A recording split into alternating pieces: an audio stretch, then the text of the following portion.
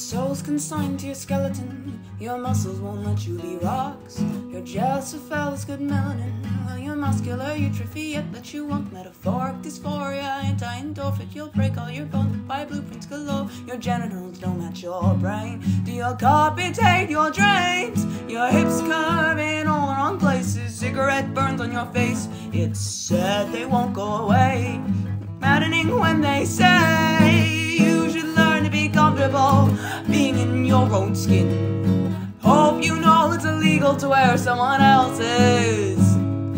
Why, oh, why in the world would anyone want to be themselves when it's so much more comfortable being anyone else?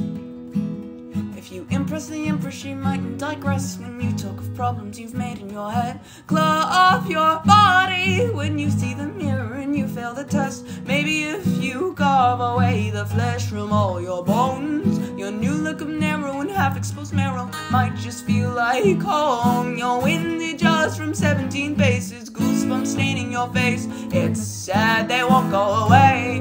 What gives you the right to say you should learn to be comfortable being in your own skin? Are you aware it's illegal to wear someone else's?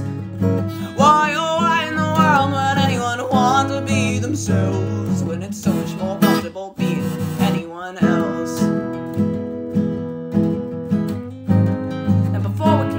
like to ask you a few things.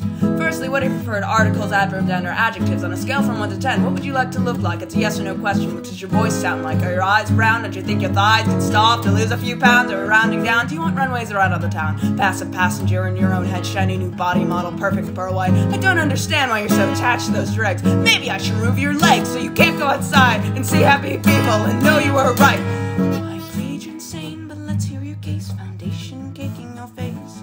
It truly is a name to design your form like you're in a game. You should learn to be comfortable being in your own skin.